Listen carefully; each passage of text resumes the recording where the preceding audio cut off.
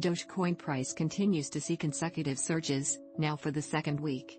After taking a hiatus at $0. 1,500, Doge retreated slightly below $0. 1,200 before spiking again amid hints of its integration into Twitter. A clear break above the intermediate resistance at $0.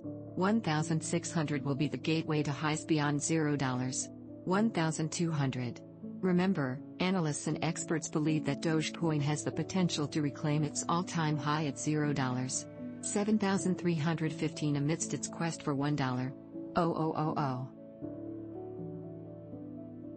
The new owner and CEO of the microblogging platform, Twitter, has today hinted at the integration of Dogecoin into Twitter. Musk took control of the social media platform after completing his $44 million deal late Thursday last week. Changes began immediately with the firing of the company's CEO, Parag Agrawal. Two other top executives were shown the door, including the firm's CFO, Ned Segal and the head of policy Vijaya Gadde. According to the news media, The Guardian, Twitter employees are bracing for mass layoffs as Musk carries out a restructuring process. Up to a quarter of the staff at Twitter are unlikely to survive the layoff, as outlined by The Washington Post.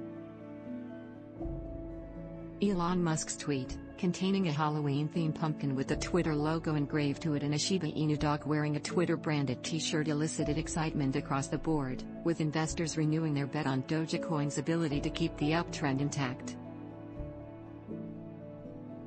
The post has been interpreted to mean that Musk is working on integrating Dogecoin on the social media platform,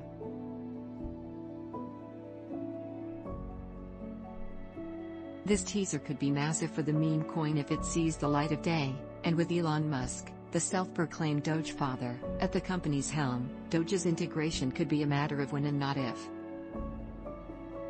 The Dogecoin community has anxiously waited for this development since Musk purchased a 9.1% stake in Twitter.